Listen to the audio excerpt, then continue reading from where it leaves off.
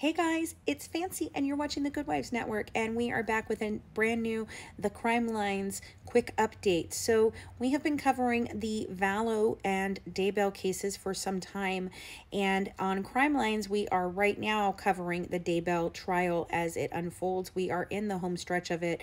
The defense has finally just rested their um, their case. The prosecution put on a lengthy case and now we are going through a couple of rebuttal witnesses and then we should be at closing statements by the end of next week with jury, you know, with the jury getting this case turned over to them at that point.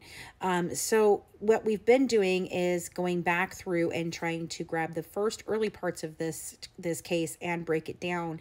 And tonight I am bringing you part two of the timeline breakdown. So if you'll remember, we were finishing up that the FBI um, has asked if there were any um, photos of the family taken at the park on September 8th where Tylee, JJ, Lori, and Alex all visited Yellowstone National Park.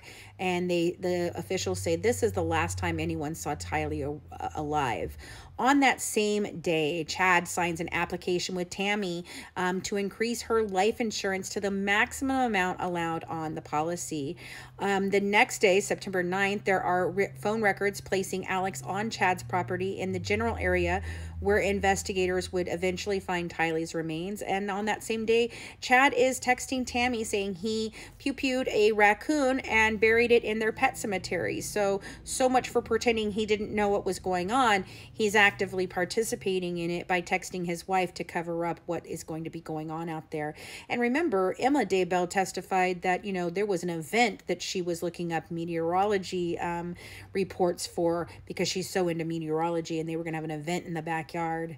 Interesting, though. Lori does enroll JJ at Kennedy Elementary School on September 3rd, but less than three weeks later, she takes him out and basically says she's going to be homeschooling him. And despite claiming that her daughter Tylee is attending BYU in Idaho, Tylee is never enrolled in any school um, in Idaho. So on October, now Melanie, um, uh, Lori's niece Melanie Boudreaux, now Melanie Pawlowski, but at the time Melanie Boudreaux, she moves to a townhouse in the same complex of Lori and Alex. Um, on October 1st, Lori rents a 10 by 10 storage unit from Self Storage Plus, Plus in Rexburg.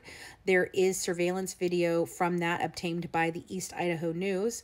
Um, it shows Lori and a man visiting the unit nine times in October and once in November. Often the man, who appears to be Alex, comes alone. Um, another visit shows Alex and a man who appears to be Chad during one visit. Um, and Chad and Lori visit the storage facility together. So on October 2nd, um, so his wife is already moving into this unit, but on October 2nd, Brandon returns from the gym to his Arizona home and he is pew pewed at with uh, the, the, the the things from the pew pew just barely missing his head by inches. Um and the the pew pewer was driving a jeep registered to the then deceased charles vallow that tylee ryan had been driving for quite some time. That same day lori goes on to purchase a wedding ring on amazon um, which is later seen on her finger at her beach wedding with chad. So you know there's there's people dropping like flies. Your children are missing. Um your your friend's wife is now gone. Your husband's gone. And oh by the way my nephew-in-law is being shot at. But hey let me just go and grab some wedding rings for that wedding i'm about to not attend right?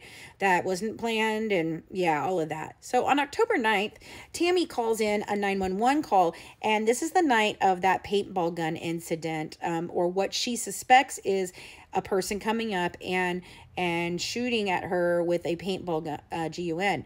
Now, um, according to Detective Hermosillo's um, actual testimony here on day four, he believes that it is not um, a a paintball gun. Um, it is actually a it could be an AK um, 15 that he a, rifle that he thinks that this could be.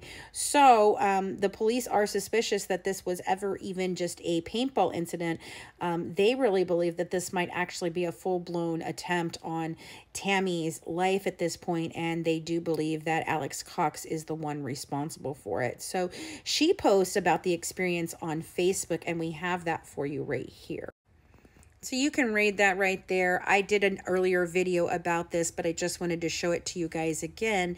She's posting to alert the people in the neighborhood as to what is happening and the experience that she just had.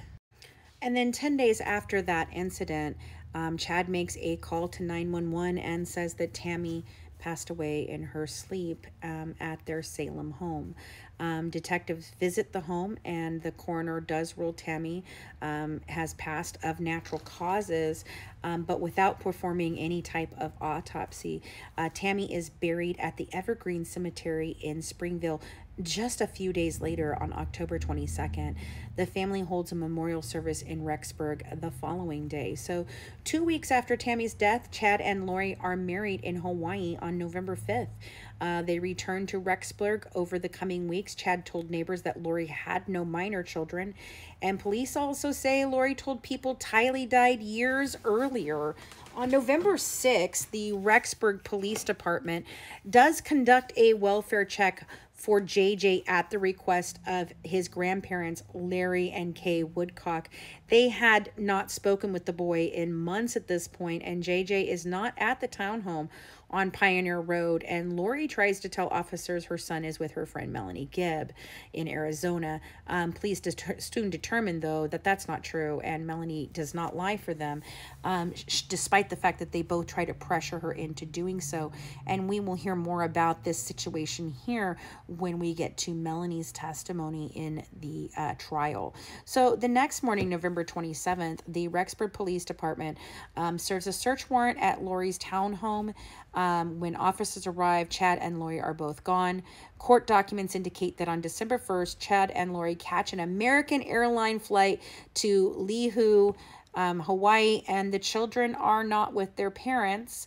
On December 6th, Melanie Gibb contacts the Rexburg Police Department and tells officers Chad and Lori called her on November 26th. She says the couple asked her to lie about the location of JJ. Uh, the Fremont County Sheriff's Office determines Tammy Daybell's death is now suspicious and her body is exhumed. So on December 11th, an autopsy is performed in Utah and they do not release the results to the public. But we later learn that Tammy did die due to asphyxiation. So on December 12th, Alex dies in Gilbert, Arizona, at the age of 51. Um, in a police interview months after his death, um, Alex's wife, Zulema, does speak with the officer. She says a few days before Alex died, he told her a bag of money was hidden in his closet in case anything was to happen to him. He also had begun expressing that he felt he was going to end up being Chad and Lori's patsy in all of this, that they were going to try and blame everything on him. And Zulema did tell police and others that she was actually very fearful of her husband. And there is some suspicion about his death and whether or not his death was actually from natural causes. Um, you know, and we raised in our, our coverage of day four, we began thinking that maybe Lori is got some sort of medication that she is giving these men that caused them to have heart attacks, um, including Tammy Daybell could have even, we don't know. But but it, interestingly enough, Alex did make a run to the to Mexico for some illegal um, drugs. So maybe I don't know. Tune in again for episode three of this of our little update through the timeline coming up right now. Have a good one from the Good Wives, serving up true crime one dish at a time. Bye, guys.